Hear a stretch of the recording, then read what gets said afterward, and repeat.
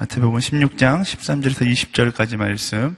제가 한 절, 여러분이 한 절, 한 절씩 교독하며 나아가도록 하겠습니다. 제가 먼저 읽겠습니다. 예수께서 가이사랴 빌립보 지방에 이르러 제자들에게 물으셨습니다. 사람들이 인자를 누구라고 하느냐? 그들이 대답했습니다. 세례자 요한이라고도 하고 엘리야라고도 하고 에레미야나 예언자 중 한 분이라고도 하는 사람도 있습니다. 그러면 너희는 나를 누구라고 하느냐? 예수께서 물으셨습니다. 시몬 베드로가 대답했습니다. 그는 그리스도시며 살아계신 하나님의 아들이십니다. 예수께서 대답하셨습니다. 요나의 아들 시몬아, 내가 복이 있다. 이것을 내게 계시한 분은 사람이 아니라 하늘에 계신 내 아버지이시다. 그리고 내가 너에게 말한다. 너는 베드로다. 내가 이 반석 위에 내 교회를 세울 것이니 지역의 문들이 이것을 이길 수 없을 것이다. 내가 네게 하늘나라의 열쇠를 줄 것이다. 무엇이든 내가 땅에서 매면 하늘에서도 매일 것이요. 내가 땅에서 풀면 하늘에서도 풀릴 것이다. 그 후에 예수께서는 제자들에게 자기가 그리스도이심을 아무에게도 말하지 말라고 당부하셨습니다. 아멘. 이 시간 교회를 세우소서라는 말씀의 제목으로 대학 청년 본부장님이신 김승수 목사님 나오셔서 말씀 전해 주실 텐데 우리 큰 박수로 환영하도록 하겠습니다. 할렐루야 여러분 아, 정말 잘 오셨습니다. 우리 살아계신 하나님께 감사와 찬양의 박수를 올려드리겠습니다. 주님을 찬양합니다. 네. 좌우에 있는 분들 앞에 있는 분들 한번 축복해 주시겠습니다. 하나님께서 당신을 통해 놀라운 일을 이루실 것입니다. 아멘. 네. 어, 이번 달에 우리는 어, 이 땅을 고치소서라고 하는 전체적인 주제를 가지고 어, 매주 매주 우리가 함께 말씀을 듣고 함께 또 기도하고 있습니다. 지난주에 아마 우리 귀한 최영민 목사님을 통해서 어, 가정을 세우소서라고 하는 그 메시지를 여러분 들으셨을 것입니다. 여러분, 저는 여러분을 격려하고 축복합니다. 네.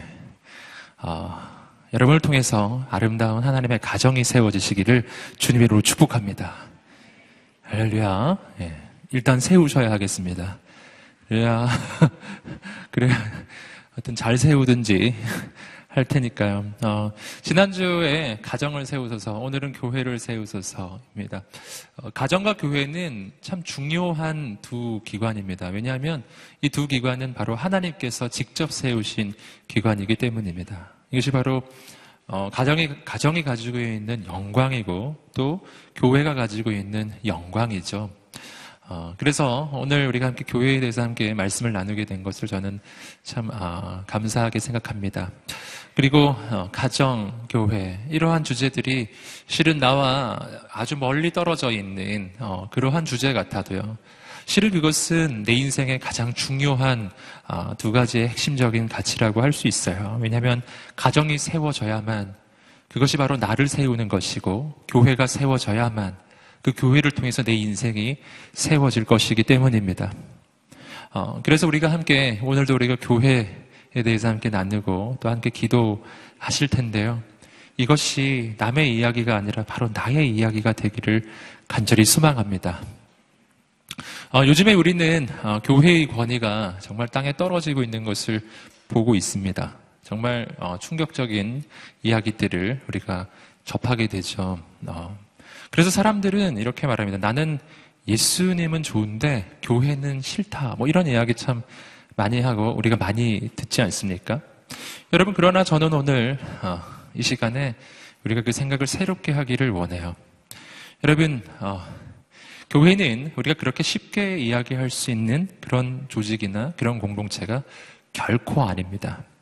비록 우리가 지금 눈으로 보고 있는 현실 세계의 이 교회들이 비록 실패할지라도 그 교회를 구성하고 있는 사람들이 부족할지라도 연약할지라도 사실 그것이 정말 사실이지만 그럼에도 불구하고 우리는 교회에 대한 소망을 멈출 수가 없습니다. 왠지 아시겠어요? 두 가지 중요한 이유를 말씀드리고 싶습니다. 첫 번째는 서두에 말씀드렸던 것처럼 교회는 하나님께서 직접 세우신 기관이기 때문입니다. 어, 여러분, 교회가 언제 생겨났습니까? 성경을 보시면 바로 사도행전 2장의 성령 강림 사건 이후에 교회는 탄생합니다. 여러분, 인간이 계획해서 만든 게 아니에요.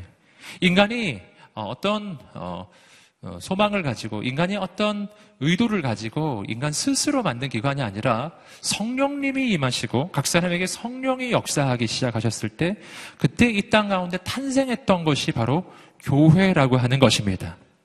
여러분, 이 교회의 시작은 실은 우리가 오늘 읽으신 그 마태복음 16장에서 보시는 것처럼 예수님의 꿈으로부터 시작된 것이었어요. 하루아침에 이 땅에 생겨난 것이 아니라 예수님께서 이 땅을 거니실 때 그 마음에 품고 있었던 꿈이 바로 교회의 꿈이었다는 것입니다. 하지만 예수님께서 이 땅에 계실 동안에는 교회는 세워지지 않았습니다. 예수님의 십자가와 부활 사건이 지나가고 바로 구원의 길이 모든 인류에게 열려진 다음 그리고 성령님이 임하셨을 때 그때 비로소 교회라는 조직이 탄생합니다. 예수님이 꿈꾸시고 성령님이 임하셨을 때 비로소 이 땅에 탄생한 공동체 예수님이 그 마음에 그토록 세우기를 원하셨던 바로 그 공동체입니다. 여러분 하나님이 직접 세우신 조직이라는 것은요. 이 조직 안에 하나님의 뜻과 계획이 담겨져 있다는 것을 의미합니다. 여러분 하나님께서 직접 세우신 조직이라고 하는 것은요. 정말 약해 보이지만 그러나 이 공동체가 바로 세상의 대안이라는 것을 말하는 것입니다. 사람은 약하지만 우리 교회를 세우신 주님은 약하지 않으십니다. 사람은 실패합니다. 하지만 이 교회의 주인 되시는 주님께서는 실패하지 않으실 것입니다. 이것이 오늘 우리가 먼저 가져야 되는 분명한 확신입니다. 교회에 대해서 성경이 말해주는 또 한 가지는 뭐냐면 교회는 예수 그리스도의 몸이라고 하는 것입니다. 주님의 몸된 공동체이죠. 에베소서 2장 22절과 23절은 바로 그것을 이렇게 이야기해 주고 있습니다. 함께 자막을 한번 보실까요? 한번 읽어보겠습니다. 시작. 그리고 하나님께서는 만물을 그리스도의 발 아래 복종하게 하시고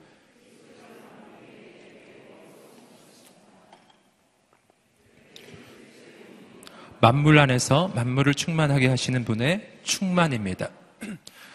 예수님은 교회의 머리가 되시고 그리고 교회는 예수님의 몸이라는 것이죠. 이것이, 이것이 교회가 가지고 있는 영광스러움입니다. 여러분, 교회가 예수 그리스도의 몸이라고 하는 것은 무엇을 의미합니까? 첫 번째는 어, 몸은 머리의 뜻을 따르는 것이죠. 그러므로 교회는 바로 예수 그리스도의 따르 예수 그리스도의 가르침을 따르는 공동체입니다. 바로 예수 그리스도 그분만을 따라가는 공동체. 또 한 가지가 있다면 여러분 어, 교회가 예수 그리스도의 몸이라면 이 땅에서 사람들이 교회를 볼때 여러분 그때 누구를 보는 것입니까? 예수님을 보는 것이죠. 여러분 이 땅에서 사람들이 교회를 볼 때 그것은 곧 예수님을 보신 보고 있는 거예요. 바로 오늘 우리가 가지고 있는 놀라운 사명이라고 하는 것이죠. 예수님을 보여주는 사람들. 그것이 바로 교회의 사명입니다. 또 하나가 있다면, 여러분, 어, 교회가 예수 그리스도의 몸이라면, 여러분, 그렇다면 오늘 우리는 이 땅 가운데서 바로 주님이 하실 그 일을 대신 감당하는 사람들이라고 하는 것입니다. 여러분, 한번 생각해 보십시오. 예수님은 십자가를 지시고 부활하신 이후에 구원의 길이 모든 사람에게 열려졌잖아요. 그때 주님은, 주님이 직접 구원의 사역을 감당하지 않으셨어요. 복음 전파의 사명을 감당하지 않고 이 땅을 떠나십니다. 그 대신 이 땅에 남은 것이 교회 공동체이죠. 뭐를 알 수 있습니까? 주님은 교회 공동체에 주님께서 하셔야 될 그 사명을 맡기시고 이 땅을 떠나신 것입니다. 안심하고 떠나신 것입니다. 왠지 아시겠어요? 교회 공동체는 주님의 몸이기 때문이에요. 주님은 이 땅을 떠나셨지만 떠나지 않으신 것과 마찬가지예요. 왜냐하면 이 땅에 주님의 몸인 교회 공동체가 존재하고 있기 때문입니다. 우리는 이 땅에 있는 작은 예수들입니다. 여러분 오늘 우리를 통해서 하나님의 역사가 이루어질 것입니다. 여러분 이것이 바로 교회가 가지고 있는 영광스러움이라고 하는 사실이에요. 여러분 눈에 보이는 교회, 눈에 보이는 현실의 교회는 실패할 수 있습니다. 하지만 눈에 보이지 않는 주님의 몸된 교회, 이 땅에 있는 모든 교회가 아, 오는 세대 가는 세대 세워진 모든 교회가 합해져서 세워지는 눈에 보이지 않는 주님의 몸된 교회는 무너지지 않을 것입니다. 실패하지 않을 것입니다. 마침내 승리할 것입니다. 오늘 우리가 그 영적 확신을 품게 되기를 주님의 이름으로 축복합니다. 여러분 오늘 말씀은 바로 그 교회를 향한 예수님의 꿈을 보여주는 말씀이에요. 복음서에서 교회에 대해 유일하게 언급되고 있는 바로 그 구절입니다. 바로 예수님이 꿈꾸시는 교회. 예수님은 이런 교회를 꿈꾸셨다라는 것을 보여주는 본문이죠. 오늘 말씀이 선포될 때 우리 마음에 교회를 향한 새로운 꿈이 생기게 되기를 소망합니다. 그리고 교회가 세워지기 전에 우리 안에 어떠한 영적 변화가 있어야 하는지도 함께 말씀을 통해서 볼 것입니다. 함께 마태복음 16장 13절 말씀을 읽어 보겠습니다. 시작. 예수께서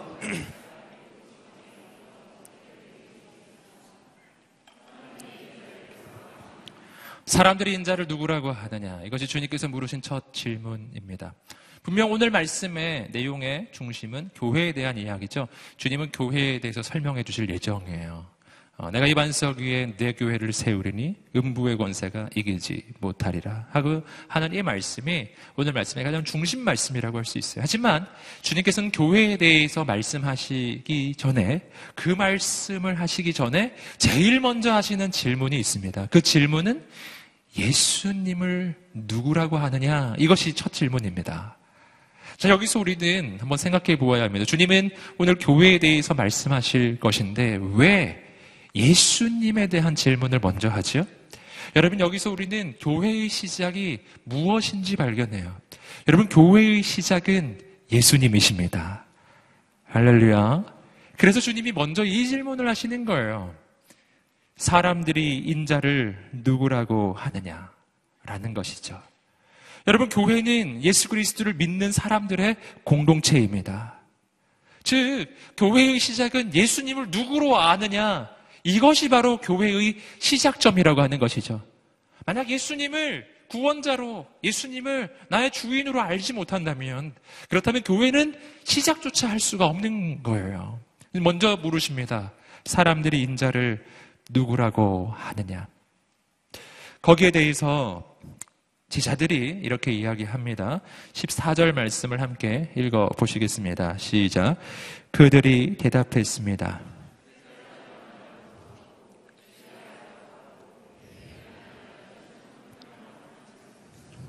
14절 말씀에서 그 당시에 사람들이 예수님에 대해서 가지고 있었던 여러 분분했던 의견들을 이야기하고 있습니다. 어, 사람들은 예수님을 세례요한이라고도 하고 엘리야라고도 하고 예레미야라고도 하고 또 선지자 중에 한 사람, 예언자 중에 한 사람이라고도 합니다. 이렇게 제자들이 이야기하고 있어요. 당시에 많은 사람들이 말했던 의견입니다. 여러분 여기서 우리는 한 가지 중요한 사실을 알게 돼요. 그것은 당시에 사람들이 예수님을 매우 좋게 보았다는 것입니다. 예레미야, 오늘 말씀에서 나오는 엘리야, 이러한 사람들은요, 구약시대 선지자들 가운데서도 가장, 어, 가장 위대한 선지자 중에 한 사람들이에요. 그들을 통해서 가장 놀라운 역사가 나타났던 그런 선지자들, 엘리야, 예레미야, 그리고 예수님이 이 땅에 오심을 예비했던 세례 요한. 얼마나 놀라운 사람들입니까? 여러분, 여기서 우리는 사람들이 예수님을 참 좋게 봤다는 것을 알 수 있어요. 하지만 우리는 말씀에서 또 한 가지를 발견합니다. 그것은 뭐냐면 이것이 정답이 아니라는 사실이에요. 만약 이것이 정답이었다면 주님은 한 번 더 질문하지 않았을 것입니다. 근데 한 번 더 질문하시죠. 너희는 나를 누구라고 하느냐. 이것이 정답이 아니기 때문이에요. 여기서 우리는 예수님을 바라볼 때 우리가 빠지게 되는 한 가지 어, 실수를 발견합니다. 세상에 있는 많은 사람들이 빠지고 있는 실수이기도 해요. 여기서 마태복음 16장 14절에 나오는 예수님에 대한 평가, 예수님이 이렇게 위대한 사람입니다. 라고 하는 이 평가는 사실은 지금도 마찬가지예요. 지금도 교회를 안 다니는 사람이라 할지라도 예수님에 대해서 나쁘게 이야기하는 사람은 아무도 없습니다. 다 예수님이 좋다고 이야기하죠. 문제가 뭐죠? 문제는 예수님을 좋게 보기는 하지만 그를 여전히 사람으로 보고 있다는 사실이에요. 예수님을 그냥 인류 역사상 위대한 4대 성인으로 보는 것이죠. 여러분, 예수님을 어, 위대하게 보는 것으로는 예수님을 위대한 사람으로만 보는 것은 우리 인생의 변화를 일으키지 못합니다. 새로운 역사가 시작하지 않는다고요. 여러분, 신앙은 어디서 시작하는가? 신앙은 예수님을 얼마나 좋아하느냐에서 시작하는 게 아니에요. 신앙은 예수님을 얼마나 대단한 사람으로 보느냐에서 시작하지도 않습니다. 신앙은 예수님을 사람이 아니라 나를 위해 이 땅에 오신 구원자로 아는 것에서부터 시작하는 것입니다. 여러분, 오늘 우리 인생 가운데 믿음이 시작되기를 간절히 소망합니다. 여러분, 주님을 좋게는 보지만 그냥 사람으로만 보았던 사람들. 그들이 바로 2000년 전 유대인들이에요. 그들은 예수님을 나쁘게 보지 않았어요. 단지 사람으로만 보았어요. 그 결론이 뭐죠? 그 결론은 그들이 결정적인 순간에 예수님에게서 등을 돌리는 것이었어요. 결정적인 순간이 오자 그들은 예수님을 십자가에 못 박았습니다. 여러분 이것이 결론이에요. 주님을 사람으로 보느냐, 하나님의 아들로 보느냐. 주님을 그냥 위대한 성인으로 보느냐, 나의 구원자로 보느냐의 차이점입니다. 여러분, 오늘도 마찬가지이거든요. 오늘 우리가 신앙생활을 할 때 이럴 수 있습니다. 여러분, 예수님을 살아계신 하나님의 아들로 보는 것이 아니라 나의 구원자로 보는 것이 아니라 2000년 전에 살았던 그냥 위대했던 한 사람으로만 보기 시작할 때 그때 우리는 결정적인 순간에 예수님에게서 등을 돌릴 것입니다. 결정적인 순간에 주님을 선택하지 않을 거예요. 뒤집어서 이야기하면 내가 예수님을 진짜 살아계신 하나님의 아들로 보고 있는지 아니면 그냥 사람으로 보고 있는지는요. 내 인생의 결정적인 순간이 다가왔을 때 실은 알게 되는 것이라고도 알 수 있어요. 결정적인 위기의 순간에 정말 주님을 선택하지 않으면 정말 내 인생의 위협이 다가오는 바로 그 순간입니다. 바로 그 순간이 내가 진짜 예수님을 하나님의 아들로 보고 있는지 아니면 그냥 사람으로 보고 있는지를 가르는 순간이라고도 할 수 있어요. 여러분 오늘 이 시간이 주님 앞에 무릎 꿇는 시간이 되기를 소망합니다. 여러분 예수님을 하나님의 아들로 보지 않으면요. 예수님을 그냥 사람으로만 보면 우리 인생은 언제나 세상 앞에 무릎 꿇게 될 것입니다. 여러분, 예수님 앞에 무릎 꿇지 않으면 우리는 세상 앞에 무릎 꿇게 된다는 거예요. 여러분, 주님 앞에 무릎을 꿇으십시오. 그러면 우리는 세상 가운데 담대하게 일어나게 될 것입니다. 어떤 어려움 가운데서도 그 어려움을 뚫고 나갈 것입니다. 여러분, 내가 현실 앞에 무릎을 꿇을 때, 세상 앞에 무릎을 꿇을 때, 내가 어려운 현실 속에서 주저앉아 있을 때, 여러분, 그때 곰곰이 묵상해 봐야 돼요. 다시 자신을 돌아봐야 돼요. 왜 그런 현상이 일어나는지. 그 까닭은 진짜 문제가 힘들어 서일 수도 있지만, 실은 문제가 어려워서라기보다는 내가 예수님을 하나님의 아들로 믿지 않고 있기 때문일 가능성이 훨씬 높아요. 훨씬 높아요. 예수님을 진짜 하나님의 아들로 내가 믿는다면 내가 여러분 어찌 무릎을 꿇겠어요? 예수님을 진짜 하나님의 아들로 내가 믿는다면 내 인생을 흔들 수 있는 것은 아무것도 없는 겁니다. 내 인생을 그 어떤 것이 흔들 수 있습니까? 하나님은 창조주이신데요. 온 우주의 주관자이신데요. 여러분, 그 하나님이 나를 살리려고 그 아들을 보내셨다면 그 무엇이 나를 흔들겠냐고요. 여러분, 인생이 진짜 어려운 것일까요? 아니면 내가 예수님을 믿지 않는 것일까요? 정말 생각해 보아야 합니다. 오늘 이 저녁이 예수 그리스도를 그냥 좋은 사람으로 보는 것이 아니라 내가 무릎 꿇고 경배해야 할 나의 구원자로 보는 이 밤이 되기를 간절히 소망합니다. 이것이 바로 시작점이에요. 여러분 주님께서는 다시 한번 질문하십니다. 함께 15절 말씀을 읽어보시겠습니다. 시작. 그러면 너희는 나를 누구라고 하느냐? 예수께서 물으셨습니다. 마태복음 16장 15절 말씀. 그러면 너희는 나를 누구라고 하느냐? 주님의 두 번째 질문이죠. 사람들이 나를 누구라고 하느냐? 이 질문 앞에 이 오답을 이야기했습니다. 주님이 다시 물으셨죠. 너희는 나를 누구라고 하느냐? 자, 여기서 아주 중요한 우리는 신앙의 본질적인 측면을 하나 발견합니다. 그것은 뭐냐면 신앙이란 남들의 이야기가 아니라 바로 나의 이야기라는 사실이에요. 첫 번째 질문은 사람들의 의견을 묻는 질문이었어요. 사람들이 뭐라고 하느냐? 사람들이 뭐라고 하느냐? 다른 사람들의 생각. 우리는 이것을 지식이라고 하고 우리는 이것을 정보라고 하는 것이죠. 인터넷 검색하면 나오는 것이죠.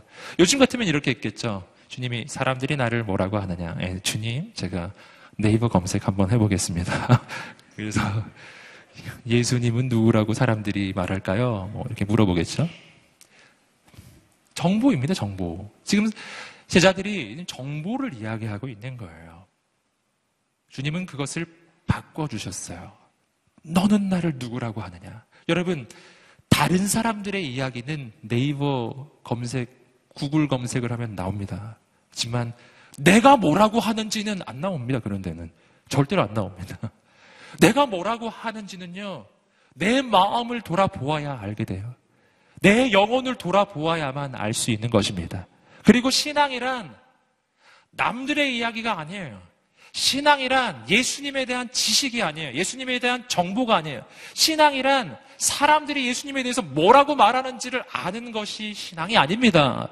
신앙은 하나님과 나 사이의 일대일의 관계입니다. 신앙이란 내가 그분 앞에 고백하는 것입니다. 신앙은 나의 고백이에요. 우리가 얼마나 많은 순간에 남의 고백을 마치 내 것처럼 생각하는지 몰라요. 아주 많은 순간에 그렇습니다. 우리는 교회에서 좋은 이야기를 너무나 많이 듣고 특히 신앙서적들 읽어보면 참 놀라운 이야기들 많이 보고 그렇죠? 기독교 방송들을 통해서 우리는 진짜 간증의 스토리를 많이 듣습니다. 와, 정말 놀랍잖아요. 그런 이야기 자꾸 듣고 있다 보면은 어느덧 내가 그 사람이 된 것 같기도 하고 막 여러분 하지만 문제는 뭐냐면은 그것이 나의 고백이 되지 않으면 그것은 마치 모래성처럼 무너져 버린다는 것이죠. 여러분 오늘 이 밤은 어떤 밤이 되어야 하냐면은 이제는 남들의 이야기가 아니라 바로 나의 고백이 시작되어야 할 때라는 것입니다. 다른 사람이 뭐라고 이야기하는지는 내가 잘 알겠다. 너는 뭐라고 하느냐? 너는 나를 누구라고 생각하느냐? 너는 뭐라고 고백하느냐? 여러분 오늘 이 질문이 오늘 이 밤에 주님께서 우리에게 하시는 질문인 줄 믿습니다. 그때 베드로가 정답을 이야기하죠. 함께 16절 말씀을 읽어 보시겠습니다. 시작.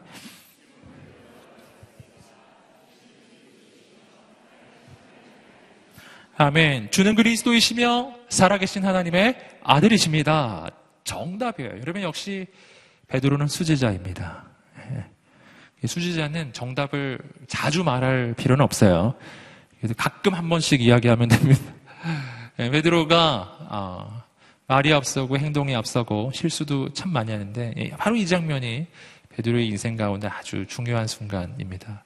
주님 질문에 정확하게 대답했는데 우리는 베드로의 이 대답 속에서 주님을 향한 이 신앙의 고백이 담고 있는 두 가지 중요한 측면을 발견할 수가 있습니다. 주, 베드로의 대답은 두 가지를 담고 있죠. 주는 그리스도시요. 이게 첫 번째고요. 두 번째는 살아계신 하나님의 아들이십니다. 그리스도라고 하는 말은 의미를 담고 있습니다. 그리스도는 헬라어이죠. 여러분 그리스도 그리스도는 기름 부음을 받은 자라고 하는 뜻을 가지고 있습니다. 아, 이것은 구약 성경에서 장차 올 구원자를 의미하는 바로 메시아, 그 메시아와 같은 뜻을 담고 있는 단어입니다. 메시아 역시 기름 부음을 받은 자. 메시아는 히브리어이고 그리스도는 헬라어예요. 같은 뜻이에요. 같은 말입니다. 주는 그리스도시요라고 하는 말은 주님께서는 구약 성경에서 그토록 계속해서 예언되어 온 바로 구원자이십니다라고 하는 고백이죠. 하지만 베드로의 고백은 그것으로 끝나지 않습니다. 또 한 가지 고백은 주님은 하나님의 아들이십니다. 라고 하는 고백도 있어요. 여러분 이것은 예수 그리스도는 예수님은 그냥 사람이 아니라 하나님께서 인간이 되어 이 땅에 오신 분. 예수님은 하나님이시라고 하는 고백이에요. 두 가지 고백. 예수님은 구원자. 두 번째 예수님은 하나님. 예. 여러분 이 두 가지의 고백은 우리의 신앙에 있어서 두 가지 아주 중요한 주님을 향한 고백입니다. 첫째, 예수님을 나의 구원자로 믿으시기를 주님의 이름으로 축복합니다. 여러분, 하지만 그분은 단지 구원자이기만 한 분이 아니라 하나님이신 분이십니다. 즉, 그분은 하나님께서 나를 구원하시기 위해서 이 땅에 인간이 되어서 오신 분이시라고 하는 사실이에요. 여러분, 이것이 바로 역사상 예수 그리스도가 유일무이한, 유일한 구원의 길이 되시는 까닭입니다.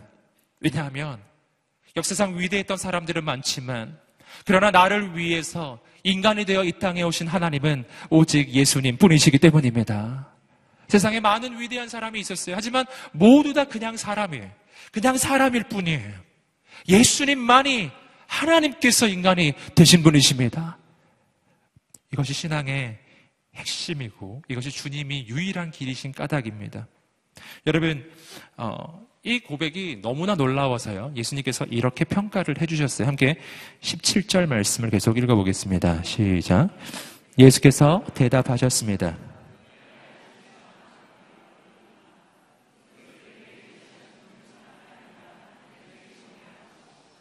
그렇죠. 이것은 저절로 알게 되는 게 아니라는 거예요. 이것은 하나님께서 너에게 계시를 해주셔야만 알 수 있는 것이다. 하나님께서 말씀해 주셔야만 알 수 있는 것이다. 라는 것이죠. 여러분, 예수님을 나의 구원자로 믿게 되는 것, 예수님을 살아계신 하나님의 아들로 믿게 되는 것은 결코 그냥 되지 않습니다. 하나님께서 오셔야 되는 거예요.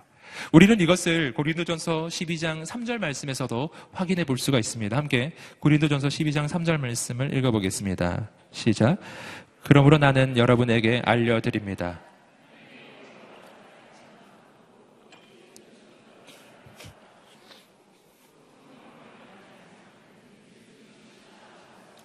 그렇죠. 성령님이 아니고서는 그 누구도 예수님을 주라고 고백할 수 없다는 거예요. 예수님을 주라고 고백했다면 그에게는 이미 성령님이 임하신 것입니다. 아멘. 이것이 바로 베드로에게도 일어난 일이에요. 베드로가 예수님을 주는 그리스도시요 살아계신 하나님의 아들이십니다. 라고 고백할 수 있었다면 이미 하나님의 영이 베드로에게 임하신 것입니다. 여러분, 여기서 우리는 세상에서 가장 위대한 기적을 발견하는 것이죠. 세상에서 가장 위대한 기적은 어떤 초자연적인 역사가 아니라요. 내가 예수님을 믿게 된 거예요. 이것이 가장 놀라운 기적이에요. 여러분 예수님을 믿으십니까? 예수님을 살아계신 하나님의 아들이라고 믿으십니까? 예수님을 구원자라고 믿으십니까? 그게 믿어져요? 만약 당신의 내면에 그러한 고백이 이상하지 않고 예수님을 주님이라 고백하는 것이 이상하지 않고 예수님을 하나님의 아들이라고 고백하는 것이 이상하지 않고 그것이 내가 하는 진짜 믿음의 고백이 되기 시작했다면 우리는 깨달아야 합니다. 이미 나의 인생에 성령의 역사가 시작되었다는 것입니다. 이미 하나님은 나의 인생에 임하셨다는 것입니다. 그러지 않고서야 그것이 믿어질 리가 없어요.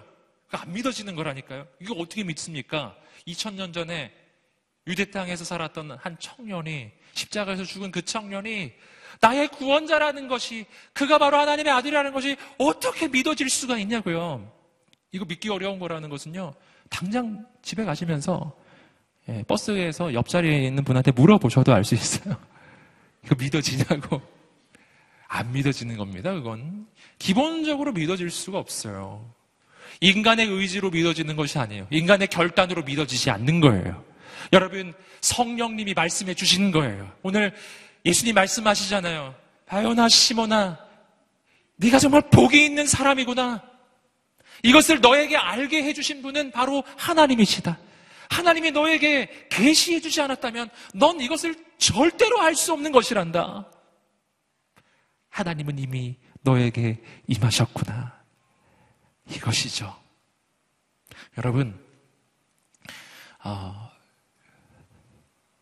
그래서 내 인생을 바라볼 때요. 아, 내 삶의 현실을 가지고 내 인생을 판단하지 않으시기를 주님으로 축복합니다. 하나님이 날 돕지 않으신다고, 역사하지 않으신다고, 그렇게 생각하지 마세요. 인생이 아무리 힘들어도 정말 망망대해 가운데 있는 것처럼 느껴져도, 사막 한가운데 있는 것처럼 느껴져도, 사면초가처럼 느껴져도, 만약 내가 지금 그럼에도 불구하고 내가 예수님을 나의 주님이라고 고백하며 기도하고 있다면, 만약 내가 예수님을 살아계신 하나님의 아들이라고 말하며 그분에게 무릎 꿇고 있다면, 만약 그렇다면, 하나님은 지금 당신과 함께 계신 것입니다. 바로 거기 하나님이 계신 거예요. 하나님은 당신을 버리지 않으셨어요. 만약 하나님이 당신을 버리셨다면 당신은 주님께 무릎 꿇을 수 없어요. 절대로 주님을 주님이라 고백할 수 없습니다. 그러니 오늘 내가 주님을 주님이라 고백한다면 이미 내 인생에는 하나님의 계획과 하나님의 역사는 시작된 것입니다. 아멘. 오늘 우리에게 그 믿음이 있게 되기를 주님으로 축복합니다. 계속해서 주님께서는 바로 이 베드로에게 놀라운 아, 축복의 말씀, 약속의 말씀을 해주시는데요. 이 안에 바로 오늘 말씀의 핵심 구절이 담겨져 있습니다. 함께 어, 18절 말씀을 읽어보겠습니다. 시작.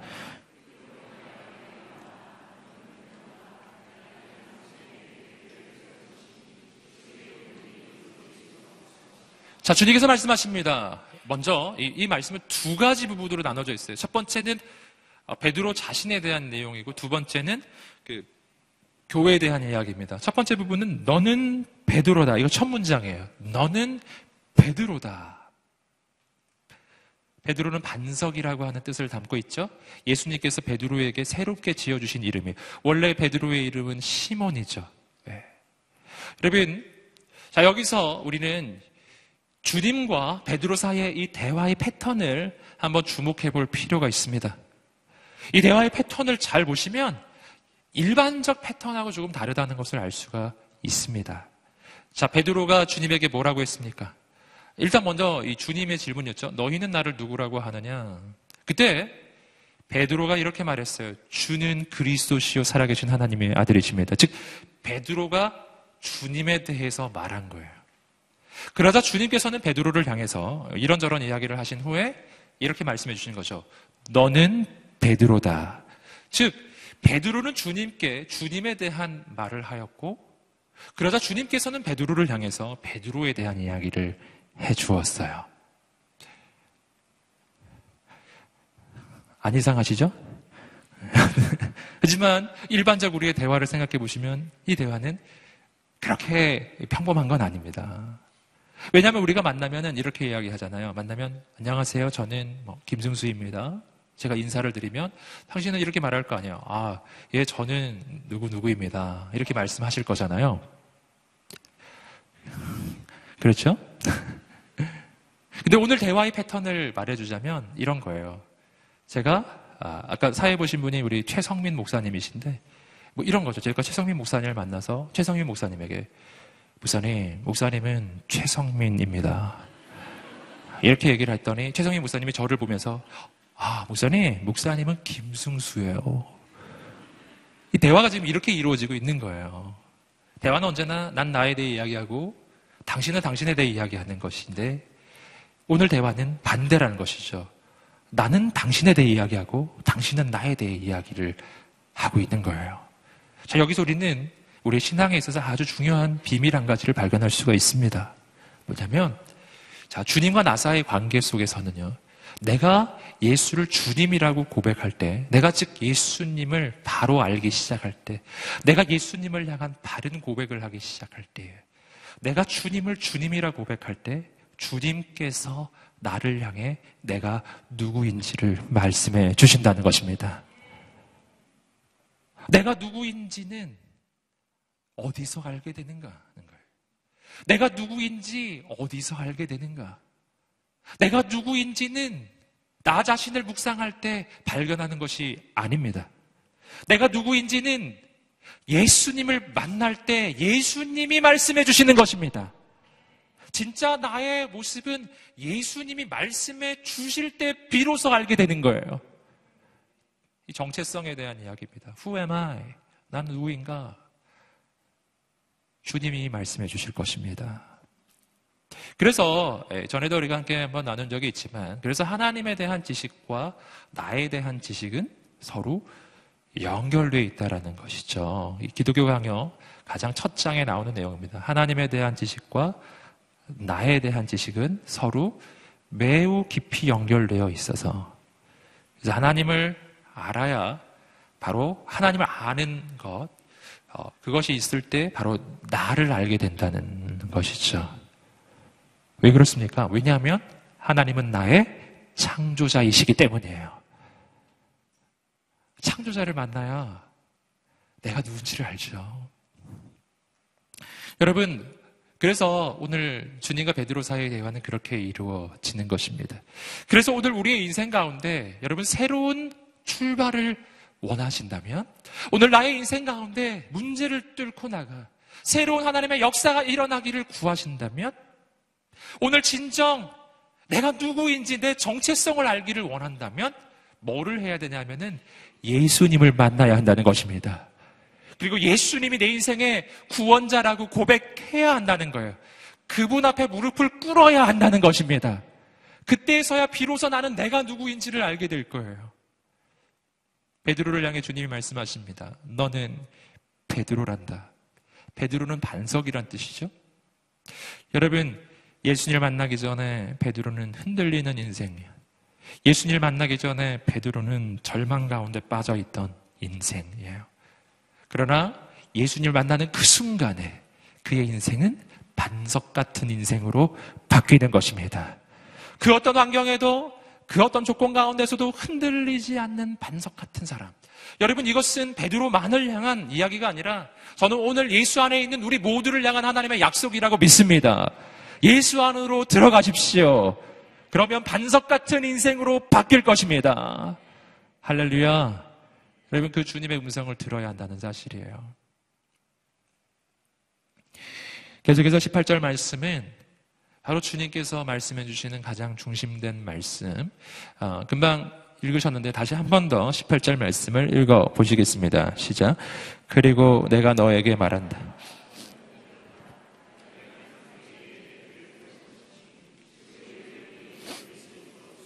아멘. 교회를 향한 주님의 비전을 말씀해 주시는 것입니다. 18절 말씀. 이 말씀 속에서 우리는 예수님의 교회론을 발견해요. 예수님이 생각하시는 교회. 예수님이 꿈꾸시는 교회. 아직 교회는 이 땅에 탄생하지 않았던 때죠. 아직 오순절 마가다락방 성령님이 임하시지 않으셨으니까요. 지금은 아직 예수님께서 교회에 대해서 꿈만 꾸고 계시는 바로 그 시절이에요. 앞으로 교회가 세워질 것인데 그런데 그 교회는 바로 이런 교회가 될 거야. 할렐루야. 네 가지가 나옵니다. 첫 번째, 첫 번째, 함께 따라해 보시겠습니다. 예수님을 주님으로 고백하는 사람들의 공동체. 예수님을 주님으로 고백하는 사람들의 공동체. 이거 첫 번째 내용이에요. 이것을 우리가 어떻게 할 수 있냐면 오늘 말씀을 보시면 내가 이 반석 위에 내 교회를 세울 것이니 라고 하는 표현에서 발견합니다. 교회는 이 반석 위에 세워진다. 라는 거예요. 이 반석이 뭘 가리키는 것인가 하는 것이죠. 여기서 말하는 이 반석은 바로 베드로가 했었던 고백을 가리키고 있어요. 앞쪽에서 베드로가 했었던 고백. 뭐였죠? 주는 그리스도시요 살아계신 하나님의 아들이십니다. 라고 했던 바로 그 고백이에요. 그 고백이 바로 반석이에요. 여러분, 교회는 건물이 아닙니다. 교회는 예수 그리스도를 믿는 그 고백을 가지고 있는 사람들의 공동체를 교회라고 하는 것입니다. 그러므로 건물이 없어도 예수 믿는 사람들이 함께 모여 예배할 때 바로 거기가 교회가 된다는 사실이죠. 여러분, 여러분, 그러므로 여러분 교회가 시작되기 위해서 필요한 것은 돈이 아니고 건물이 아니고 예수 믿는 사람이 필요한 것입니다. 그리고 또 한 가지, 그러기 때문에 이 땅의 교회 공동체가 세워지기 위해서 가장 중요하고 가장 필요한 것은 바로 그 예수님을 전하는 것이라는 사실이에요. 여러분, 교회의 시작은 예수님이 증거되고 그리고 그 예수님을 믿는 사람들이 생겨나는 것. 이것이 교회의 시작점이거든요. 그러므로 가장 중요한 것은 복음의 전파라고 하는 것입니다. 여러분, 오늘 우리의 인생이 예수 그리스도를 전하는 인생이 되기를 간절히 소망합니다. 오늘 우리 교회가 예수님을 전하는 교회가 되기를 간절히 소망합니다. 이것이 교회의 본질적인 내용입니다. 여러분, 예수 믿는 사람들의 공동체이기에 여러분 이 교회가 가지고 있는 사명이라면 바로 그 예수님을 기쁘게 하시는 것이라는 사실이죠. 예수님을 주님이라고 고백한다면 여러분 그렇다면은 이 교회는 주님 앞에 무릎 꿇는 공동체입니다. 여러분 예수 그리스도를 주라고 고백하는 것 이것이 바로 예배라고 하는 사실이에요. 여러분 주일에 드려지는 예배는 바로 그런 것입니다. 여러분 주일에 드려지는 예배는 단순한 종교 의식이 아닙니다. 여러분 그것은 해도 되고 안 해도 되는 것이 아닙니다. 어떤 정해진 절차를 치루어내는 것이 아닙니다. 여러분 예배의 본질은요 하나님 앞에 예수 그리스도 앞에 엎드리는 것입니다. 즉 예수님을 주님으로 고백하는 것이라는 것이죠. 여러분 그러므로 오늘 우리가 주일날 예배를 드릴 때 어, 이 부분을 꼭 기억하셔야 합니다. 우리가 예배를 드릴 때 얼마나 자주 나의 느낌과 나의 감정에 집중하는지 몰라요. 내가 어떤 느낌을 받았는지 우리는 그것을 가지고 예배를 판단해요. 예배를 때 기분이 좋고 감동이 되고 막 눈물이 나고 그러면 예배 나오면서 아, 참 은혜 받았다. 이렇게 표현하잖아요. 근데 뭐 그럴 수 있는데 중요한 것은 뭐냐면 그때 기준이 내가 기준이라는 것이죠. 내가 무엇을 느끼느냐가 예배를 평가하는 기준이 되기 시작할 때, 이거 굉장히 잘못된 거라는 사실이죠. 왜냐하면 예배는 주님 앞에 엎드리는 것이기 때문이에요. 그 예배에서 중요한 것은 내가 무엇을 느끼느냐가 아니라 예배의 주인 되시는 주님께서 어떻게 느끼셨느냐가 예배의 핵심이에요. 우리의 찬양을 우리의 경배를, 우리의 기도를, 그리고 선포되는 말씀이 여러분 오늘 주님 앞에서 어떠했느냐가 예배 가운데 가장 중요한 사실이라는 것입니다. 나는 너무 기분이 좋고 나는 굉장히 유쾌했는데 주님은 유쾌하지 않아요. 그러면 그건 예배가 잘못된 것입니다. 그러면 나는 좀 힘들었어요. 하지만 주님이 그 예배를 받으셨어요. 그렇다면 그 예배는 너무 좋은 예배라는 사실이죠. 여러분, 예배의 초점이 어디에 있습니까? 오늘 우리가 예배를 드릴 때 그 초점이 어디에 있나요? 여러분, 어느덧 예배는 서비스가 되어가고 있어요. 사실 뭐, 월십 서비스라고 하는데, 그 서비스를 우리가 주님께 드리는 서비스가 되어야 되는 그게 아니라 내가 받는 서비스로 자꾸 오해를 합니다. 내가 영적 서비스를 받는 것으로 어느덧 우리는 예배를 생각하기 시작하더라는 것이죠. 예수님이 주인 되는 교회, 예수님이 주인 되는 예배가 세워지게 되기를 주님으로 축복합니다. 두 번째로 우리가 발견하는 것은 뭐냐면 교회는 예수님이 주인 되시는 공동체라는 거예요. 오늘 말씀을 한번 다시 한번 보십시오. 보시면 내가 이 반석 위에 내 교회를 세울 것이니 라고 되어 있어요. 내 교회. 이것이 주목할 부분입니다. 교회는 예수님이 주인 되신다. 주님은 교회를 가리켜서 사람의 교회라고 하지 않았어요. 뭐 목사님의 교회라고 하지 않았어요. 어, 장로님의 교회라고도 하지 않았어요. 내 교회라고 하셨어요. 함께 외쳐보겠습니다. 교회는 주님의 교회입니다. 아멘. 뭐 실제로 주님의 교회라는 데도 있죠. 그게 여기서 나온 이야기죠. 교회의 주인은 예수 그리스도이십니다. 여러분 교회의 주인이 예수 그리스도시라고 하는 말은 어, 중요한 의미를 담고 있어요. 첫 번째는 뭐냐면 교회의 주인이 예수 그리스도이시기 교회가 결정하는 모든 결정과 판단의 가장 중심에는 바로 예수 그리스도가 계셔야 한다는 것입니다. 교회는 사람의 뜻에 따라 움직이는 공동체가 아니라 예수님의 뜻에 따라 움직이는 공동체가 되어야 한다는 것입니다. 그리고 또 한 가지, 만약 교회의 주인이 예수 그리스도시라면, 그렇다면 또 한 가지가 있어요. 그것은, 이것은 교회를 향한 주님의 약속이며 보장이라는 사실입니다. 여러분, 주인이 책임지실 것입니다. 함께 외쳐보겠습니다. 주인이 책임지십니다. 아멘. 여러분, 주인 되시는 예수님께서 책임지십니다. 이것이 오늘 우리가 어렵고 힘들어 보이는 교회를 바라보면서 여전히 소망을 품을 수 있는 이유예요. 까닭은 교회의 주인이 사람이 아니라 예수님이시기 때문이에요. 그리고 사람은 실패하지만 예수님은 결코 실패하지 않는 분이시기 때문입니다. 이것이 두 번째로 우리가 발견하는 것입니다.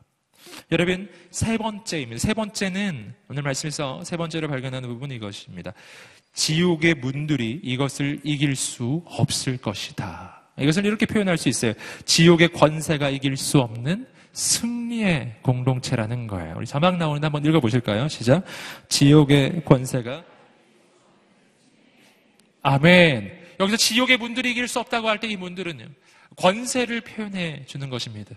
지옥의 권세, 악한 마귀의 권세, 어둠의 권세가 절대로 이길 수 없는 공동체, 바로 교회입니다. 그런데 오늘 말씀에서 우리가 좀 주목해서 볼 부분은 뭐냐 하면은, 어, 적극적 표현으로 이것을 이야기하지 않는다는 거예요. 교회는 승리하는 공동체입니다. 라고 성경 본문이 직접 승리를 언급하고 있지 않아요. 뭐라고 이야기하냐면은 적들이 이길 수 없을 것이다. 이 뒤집으면 승리를 할 거라는 이야기인데 굳이 오늘 말씀은 적들은 이길 수 없습니다. 라고 표현한다는 것이죠. 여러분 이것은 어, 그 안에 어떤 뉘앙스를 담고 있어요. 그 뉘앙스는 뭐냐면은 전쟁이 있을 것이라는 뜻이에요. 함께 또 말해보겠습니다. 전쟁은 있을 것이다. 여러분, 아, 하지만 여기서 우리는 한 가지 중요한 주님의 약속을 어, 발견해야 합니다. 주님의 약속은 전쟁이 없을 거라는 약속이 아닙니다. 주님의 약속은 전쟁은 있겠지만 반드시 승리하리라 라고 하는 약속이에요. 여러분 예수 믿고 구원받고 하나님의 자녀가 되어서 그렇게 이 땅을 살아나갈 때 분명 어려움이 있을 것입니다. 분명 힘든 일이 있을 것입니다. 여러분 믿음의 결단을 하면 할수록 더 있을 것입니다. 위협이 있을 것입니다. 공격도 있을 것입니다. 하지만 낭망치 않으시기를 주님의 이름으로 축복합니다. 왜냐하면 주님이 약속하셨어요. 어려움은 있을 것이지만 그러나 지옥의 권세들은 악한, 악한 마귀의 권세는 결코 교회를 이길 수 없을 것이다.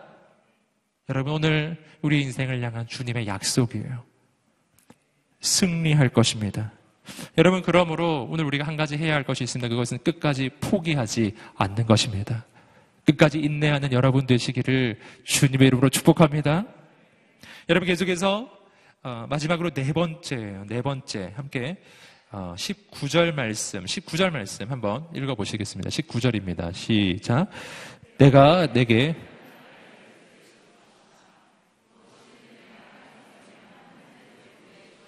내가 땅에서 풀면 하늘에서도 풀릴 것이다. 근데 마지막으로 발견하는 이 교회의 특징입니다. 함께 말해보겠습니다. 천국 열쇠를 소유한 공동체. 아멘. 오늘 말씀이 그것을 이야기하고 있죠. 너희가 땅에서 매면 하늘에서도 매일 것이요. 너희가 땅에서 풀면 하늘에서도 풀릴 것이다. 바로 천국의 열쇠를 소유한 공동체가 교회이다. 라는 거예요. 그렇다면 땅에서 메고 땅에서 푸는 이 행위가 가리키는 것이 무엇이겠는가 라고 하는 것이죠. 어, 우리가 예전에 한번 찾아본 적이 있습니다. 하지만 다시 한번 찾아보겠습니다. 땅에서 매면 하늘에서도 매이고 땅에서 풀면 하늘에서도 풀리리라 하는 이 말씀이 공통적으로 어, 그 나타나는 성경 부분이 있어요. 그것은 마태복음 18장 18절부터 20절까지의 말씀입니다. 마태복음 18장 18절부터 20절까지의 말씀입니다. 한번 읽어보도록 하겠습니다. 한번 할렐루야. 18절부터 20절까지의 말씀 한번 제가 읽어 드릴 테니까 잘 들어보시기 바랍니다. 내가 진실로 너희에게 말한다. 무엇이든 너희가 땅에서 매면 하늘에서도 매일 것이요. 무엇이든 너희가 땅에서 풀면 하늘에서도 풀릴 것이다. 다시 내가 진실로 너희에게 말한다. 너희 가운데 두 사람이 땅에서 어떤 일이든지 마음을 모아 간구하면 하늘에 계신 내 아버지께서 그들에게 이루어 주실 것이다. 두세 사람이 내 이름으로 모이는 곳에는 나도 그들 가운데 있다. 아멘. 18절 말씀은 여러분 마태복음 16장 18절 말씀과 마태복음 16장 18장 18절 말씀은 똑같은 말씀이죠. 여러분 그렇게 똑같은 말씀이 반복되어 있는데 아, 마태복음 18장 18절 말씀에는 부연된 설명이 있어요. 그 설명이 뭡니까? 그 설명은 너희 가운데 두 사람이 땅에서 합심해서 기도하면 그 기도를 하나님께서 들으시고 응답해 주실 것이다. 땅에서 매면 하늘에서도 매이고 땅에서 풀면 하늘에서도 풀리는 것 바로 기도라는 사실이죠. 여러분 오늘 우리가 기도에 대한 확신을 품게 되기를 간절히 소망합니다. 이 천국 열쇠는 사실 해석의 여지는 여러 가지가 있어요. 하지만 저는 이 부분에서 기도를 말씀드리기를 원해요. 여러분 오늘 교회가 가지고 있는 가장 강력한 파워, 우리 공동체가 가지고 있는 가장 강력한 능력은 바로 기도에 있다는 사실입니다. 할렐루야. 그때 하나님께서 놀라운 하나님의 역사를 이루실 것입니다. 기도는 땅에서 하는 것이지만 하늘을 움직입니다. 기도는 우리가 이곳에서 하지만 그 기도를 들으시고 하나님께서 역사하실 것입니다. 아멘. 오늘 우리에게 그 믿음의 확신이 있게 되기를 간절히 소망합니다. 교회가 가지는 가장 강력한 파워, 가장 강력한 능력입니다. 어, 전에 제가 이 말씀에 담긴 그 스토리를 어디선가 한번 해드린 적이 있는데 어, 오늘 그 이야기를 잠깐 해드리면 좋겠어요. 그 이 말씀은 실은 그 어, 우리 가정에게 주신 말씀이기도 합니다. 저의 가정을 얘기하는 거예요. 어떻게 제가 그것을 알게 됐냐면은 사실은 그 결혼식을 할 때 그 제가 결혼을 했거든요. 네. 오래됐어요. 굉장히 오래, 오래됐어요. 2000, 아, 잠깐 몇 년에 했는지, 2000, 제가, 죄송해요. 2003년, 네. 2003년에 했네요. 2003년. 2003년에 했는데, 그때, 그, 제가 양재 온누리교회 사랑홀에서 결혼을 했거든요. 근데 그 결혼 업체에서 뭐를 해주셨냐면은 우리 가정의 말씀을 알려주면 그것을 현수막으로 만들어서 그 양재 온누리교회 그 사랑홀 로비 가보시면 아시는데 그게 전면에 이렇게 뭔가 걸 수 있게 돼 있죠. 그래서 양재 사랑홀 로비에 딱 들어가면은 이제 그 자리에다가 전면 현수막으로 말씀을 이렇게 우리가 정, 지정한 그 말씀을 이렇게 인쇄해서 넣어줍니다. 네. 그래서 저희 이제 커플에게도 그 어떤 말씀 할 거냐고 그러시더라고요. 그래서 저희가 뭐 생각해 보다가 그 별로 그런 거에 대해서 생각해 본 적이 없어가지고 그래서 이제 가장 잘하는 말씀을 말해줬죠. 마태복음 28장 18절부터 20절까지 말씀. 그러므로 너희는 가서 모든 민족으로 제자를 삼아 아버지와 아들과 성령의 이름으로 세례를 베풀고 내가 너희에게 분부한 모든 것을 가르쳐 지키게 하라고 그 말씀이요. 지상명령. 그걸 알려드렸었어요. 마태복음 28장 18절부터 20절까지 이제 알려드렸죠. 그러난 저희는 이제 당연히 그렇게 할 줄 알고 이제 결혼식이 이제 1시였는데 한 12시쯤 이제 제가 신랑이니까 이렇게, 이렇게 들어갔는데 이렇게 봤는데 다른 말씀이 적혀져 있는 거예요. 오늘 이 말씀이에요. 마태복음 18장 18절부터 20절까지. 아니, 어, 분명히 저게 아닌데. 그래서 다시 찾아봤더니 보시는 것처럼 18장. 네, 마태복음 저희는 28장, 18절에서 20절까지를 말했었던 건데 거기서 잘못 적어가지고 마태복음 18장, 네, 18절부터 20절까지를 인수해가지고 거기다가 그냥 전면 현수막으로 걸어놓은 거예요. 예, 취소할 수가 없잖아요. 야, 진짜 순간적으로 너무 당황하고 막 화가 막, 네, 날려고 했지만, 그래도 목사니까. 근데, 그러면서 이렇게 딱, 그, 생각을 하는데, 아, 이 말씀이 우리 가정에 주시는 말씀이구나 하는 생각이 떠오르더라고요. 아, 내가 선택한 건 마태복음 28장이었는데 하나님이 우리 가정에 주신 말씀은 18장이구나. 인쇄소가 실수한 게 아니라 아, 이 말씀이 하나님이 주신 말씀이구나. 이 생각이 들더라고요. 할렐루야. 제가 그래서 결혼식 하고 이제 그날 신혼여행 가서요. 첫날에 아내와 함께 이 말씀으로 예배하고 기도하였습니다. 첫날 밤에. 마태복음 18장 18절부터 20절까지 말씀이에요. 이 말씀이 진짜 좋은 말씀인 거예요. 뭐라고 되어 있냐면 이렇게 되어 있잖아요. 너희 가운데 두 사람이 땅에서 어떤 일이든지 마음을 모아 간구하면 아버지께서 이루어 주실 것이다.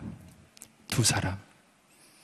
두 사람을 보는 순간, 아, 우리 가정이 생각이 나는 거예요. 결혼하는 나의 아내와 저. 아, 두 사람. 아, 우리 둘이 기도하면 이루어지겠구나. 20절 말씀 보니까 두세 사람. 어.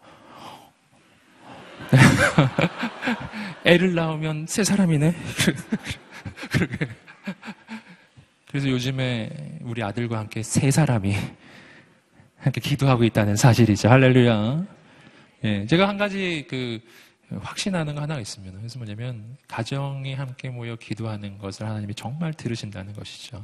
그래서 오늘 이 말씀은 어, 가정과 교회의 전체 연결이 되는 말씀입니다.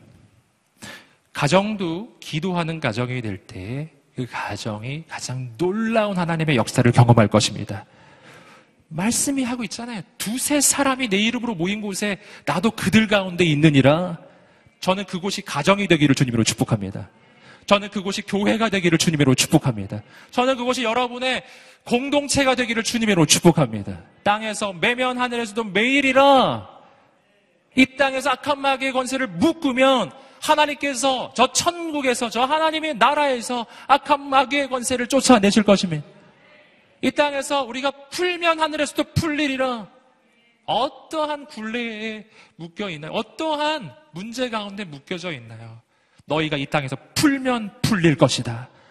오늘 우리가 예수 그리스도의 이름으로 선포할 때 모든 문제들이 풀려질 줄 믿습니다. 이것이 바로 교회 공동체에 하나님이 주신 영적 파워입니다. 여러분 이 시대 교회가 왜 권위를 잃어버렸는가?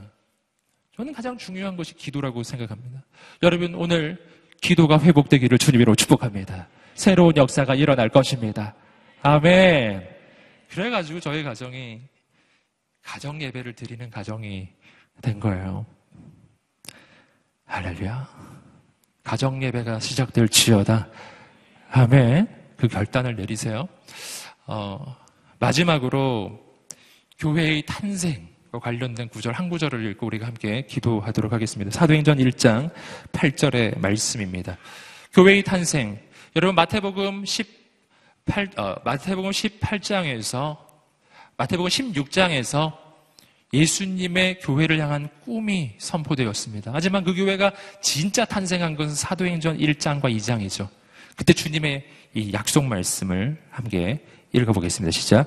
오직 성령이 너희에게 임하시면 너희가 권능을 받고 예루살렘과 온 유대와 사마리아와 땅끝까지 이르러 내 증인이 되리라 하시니라. 아멘.